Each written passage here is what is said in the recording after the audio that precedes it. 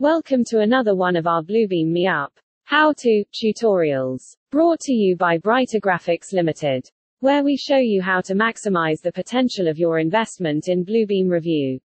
Brighter Graphics are the oldest established Bluebeam partner and your premium Bluebeam solutions provider. Let's get started. In this video, we are going to show you how to use reduce file size in Bluebeam Revu. For some files, reducing the size of a PDF makes it easier for emailing and uploading to a document management system.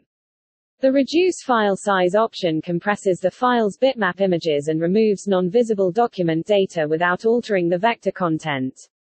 To compress a file, from the menu bar click on Document and select Reduce File Size. From here you could add individual files or folders of files from the Add menu. Save a list of files that you commonly use or load a previously saved configuration. To remove a file, select the document and click Remove.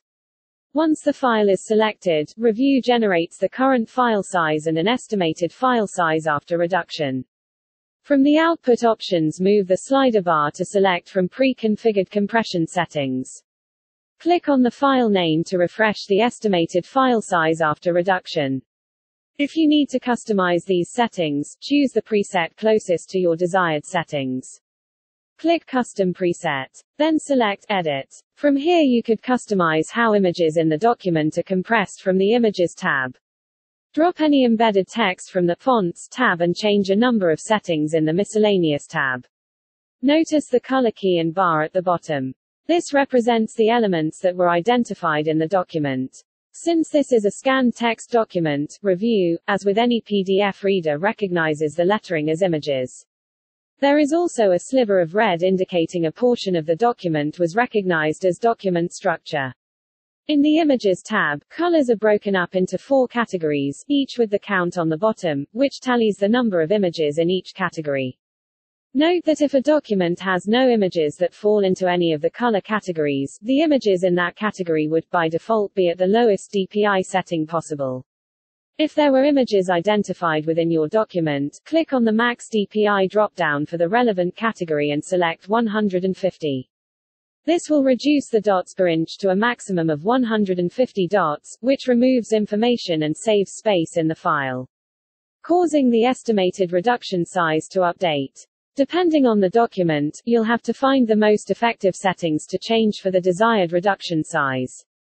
Remember, this can have an effect on the quality of the document. With the settings chosen, you could save this as a new preset. Click Save. Then give the preset a name. To delete that preset, click Delete. Once satisfied click OK. If you have multiple files that need to be reduced, you might find adding a prefix or suffix beneficial. Once all your settings are ready, click Save. Thank you for watching. We hope you found the video useful. You can visit our website, www.brightergraphics.com, for more videos in the how-to series and all things Bluebeam Revu. We at Brighter Graphics welcome your feedback to help us to improve.